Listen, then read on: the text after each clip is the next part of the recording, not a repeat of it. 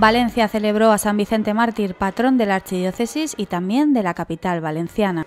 La catedral, donde se venera el brazo del santo desde hace 45 años, acogió la solemne misa estacional presidida por el obispo emérito de Mondoñedo Ferrol, Monseñor José Gea, al encontrarse el arzobispo de Valencia, el cardenal Cañizares, en Madrid. Después de la comunión, la imagen de madera plateada de San Vicente Mártir, obra del escultor valenciano del siglo XVIII José Esteve Bonet, fue trasladada en procesión por el recorrido habitual hasta regresar de nuevo al templo donde concluyó la misa.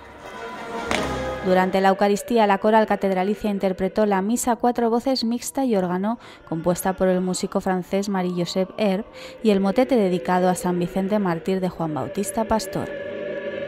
La víspera de la festividad, el cardenal Cañizares presidió una misa en rito hispano-mozárabe en la cripta arqueológica de San Vicente Mártir, ubicada en la plaza del arzobispo. En la Eucaristía participaron miembros del patronato, del Consejo de Gobierno y profesores de la Universidad Católica de Valencia. La cripta alberga una capilla funeraria visigoda con planta de cruz en la que, según la tradición, sufrió martirio el joven diácono Vicente en el año 304.